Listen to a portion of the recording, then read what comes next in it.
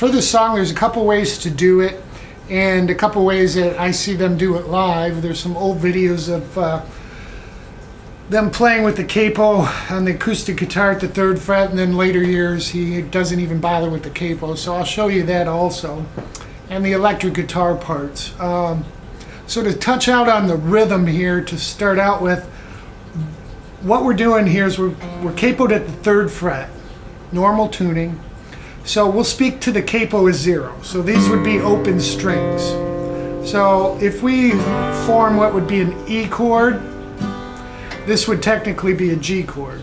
Okay, but we've got the capo taking care of that. So I'll just call this E, F, G, A. Okay, we're gonna go from an E to an F sharp, and this is a minor 11th, meaning um, we're playing on the, we're, we're going to leave the uh, open sixth string. We're going to fret on the one, two, three, fourth fret with the uh, fifth and fourth string. Then we'll come to the second fret from the third string and leave the first and second open. And we're just going to take that pattern and move it up a whole step, okay, to a G sharp, add six. I'm sorry, add flat sixth, because, so anyhow, without getting too technical, so we just move that up a step. So here we have this.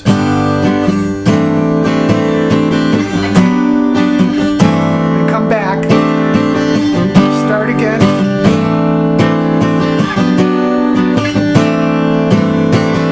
And that's the whole intro rhythm. There's there's an electric guitar playing the same rhythm underneath it and he's got a little bit of phase shifter on there and I'll show you that too. So that is the verse of the songs. That's the rhythm there. When he goes into the chorus, he's going to add an A and then eventually a B. Okay, so what we do is we're going from the E, I could lose my, to the F sharp. Okay, up G sharp, then to A, then you start again.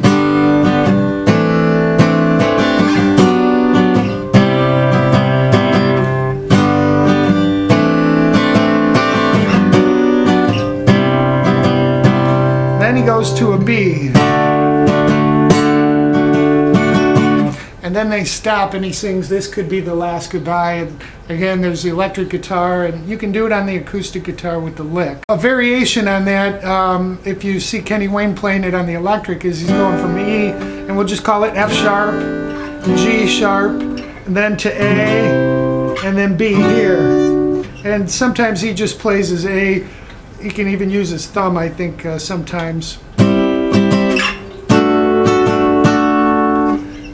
So you have this.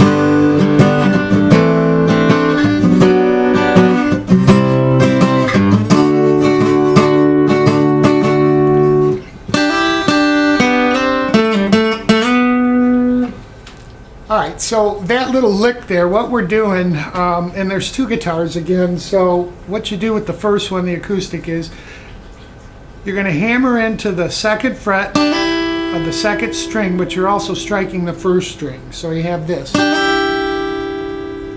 right. Then you hit them open together. Then you're going to hit the third and second string.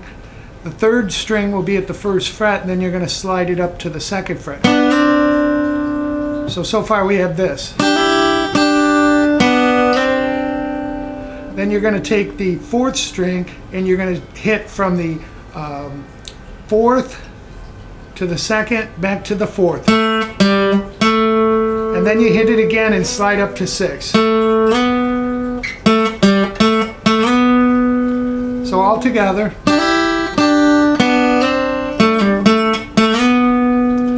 You're back into your verse.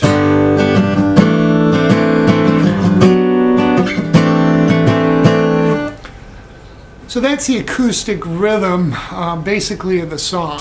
Okay, during the interlude that he uh, goes into is he does an A for eight counts, uh, one and a two and a.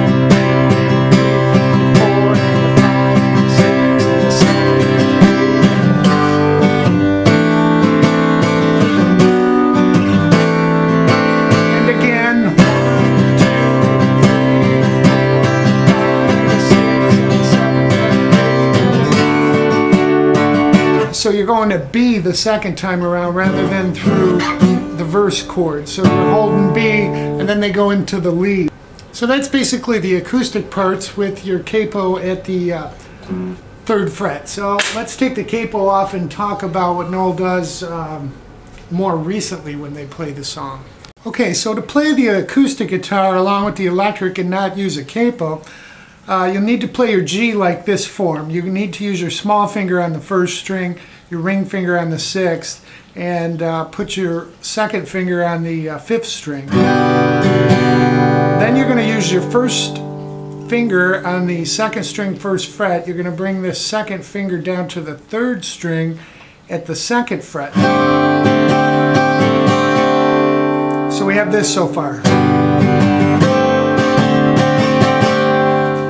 Going to go to a form of B. We're just going to take this B note and we're going to add the second string at the second, uh, I'm sorry, third fret. I'm muting that sixth string here. And then we go to a plain C, but we can add that G note to the C if you want, because that gets you in position for the next one. So what we have slowly is this.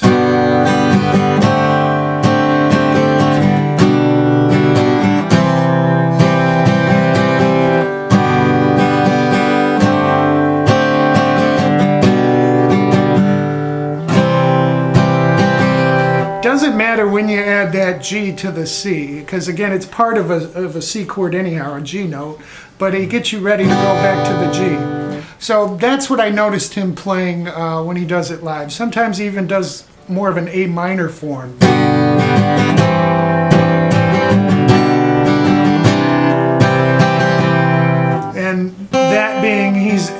His second finger to the fourth string at the second fret rather than the third string. But I think it sounds better personally on the second and third. It gives it more of that jangly tone.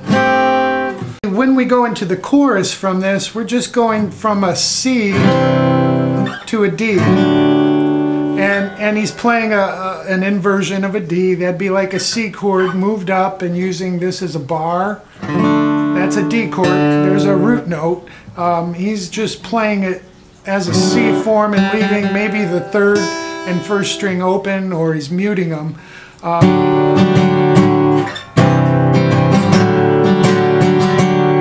okay, yeah, it's it's you know again it's live. You got two guitars and they're mixing together, so that's what he's doing live. He's going from C to D rather than this C to this D. No, he's going this C this C form. So you have this.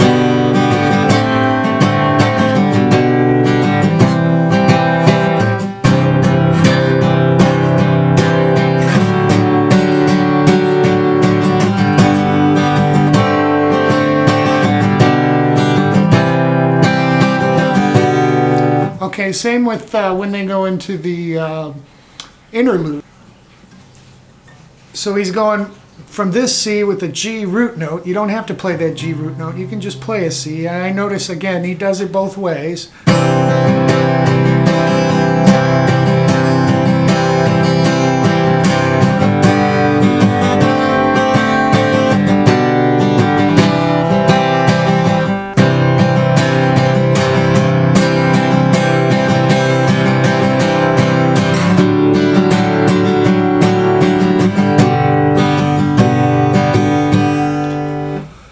Okay, so that'll get you uh, acoustically through the song without um, a capo.